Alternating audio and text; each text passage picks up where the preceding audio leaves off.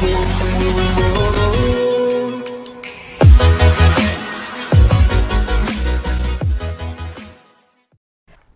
very pleasant day to you viewers. My name is Sharon Tajivinga and I'm your host on today's talk show, The Deep Talk Show.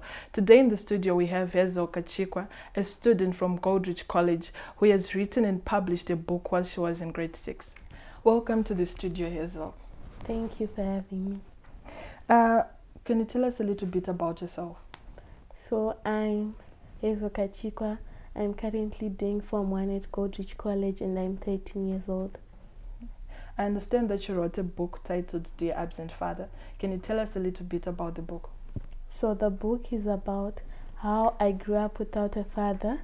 It's about how, all the events I've been through and what we experienced as a family without a father. And it's also to encourage the other children or people that have grown up without a parent that they shouldn't give up but keep looking for they will find them one day. So we can safely say that the book is a reflection of your life's events. Yes. I understand that you wrote this book while you were in grade six. And at this age, many people will be out there playing, having the fun of their lives. What pushed you to write this book? Uh, I wrote this book um, out of emotions and because I also missed my dad so much. Hazel, you wrote a book for your father who is in Botswana, and this is what he has to say. I, Hazel, I know how much you love me. I don't doubt your love for me. I know how much you even wish me to be there in Zim, spend all my days with you. I know that, my daughter. It's unfortunate that I've lived most of my life without being next to you, without being there for you. But what I know is that has not stopped you from loving me. This is very painful to say, but I have to say it. Each and every day of my life, I do pray for you. I kneel down before God. I thank God for having you in my life.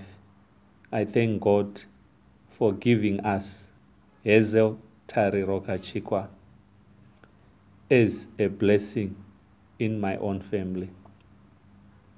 May God continue to guide you, my daughter, protect you, and make you to grow into the understanding that I, as your father, I'll always love you.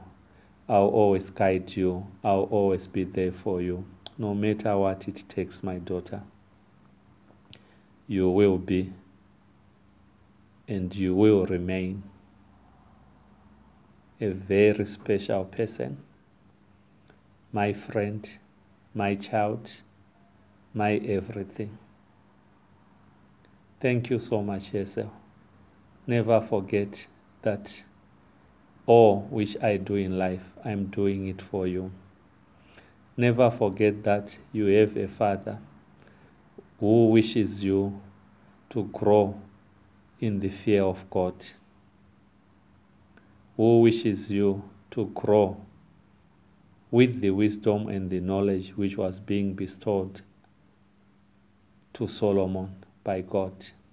That's my desire. Fear God, continue being in the right path, and continue being what you are, what God intends you to be. I wish you all my blessings, my fatherly blessings. I give them unto you, my child. Thank you so much. Thank you. This has been an emotional moment for, for even me as a presenter. So, Hazel, after uh, those emotional words from your father, how do you feel? Um, I feel a bit emotional, but I'm also glad. I'm also glad to know that he'll is always there for me and he will always love me. Yeah, you indeed love you. I understand that you're also into chess. Can you tell us a little bit about your journey in chess? So I began playing chess in grade three, and my grade three teacher, Mr. Stole, was also my coach. So from then on, me and my classmates and my coach, we started a club called Wilenita, and from then on up to now, we've grown and we have more than 100 players that participate for the Wilenita School of Chess. How many awards have you received so far? So far, I think I've received more than 10 awards from all the chess tournaments I've taken part in. Do you have, uh, did you receive any recognition? Yes, in the tournament I participated in in 2018 um, in Botswana.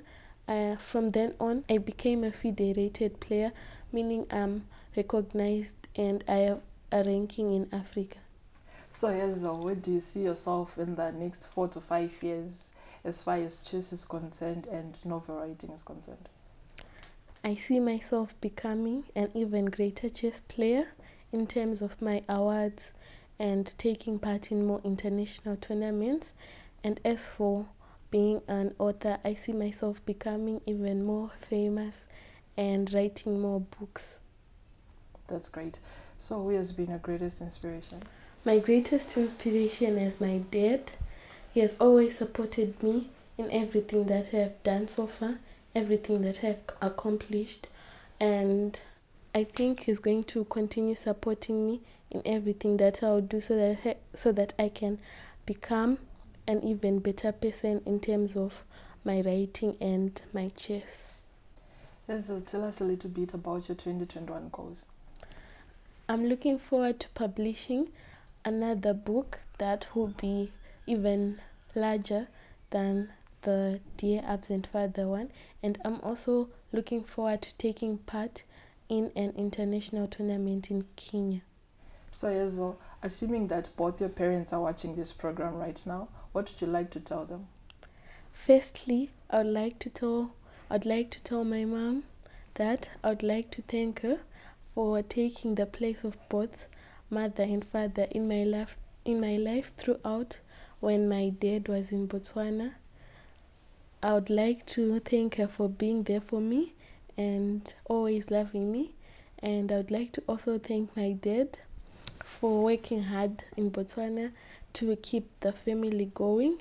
Even though he's not here with me here in Zimbabwe, I still feel his presence though because he's constantly checking on me and I love him too.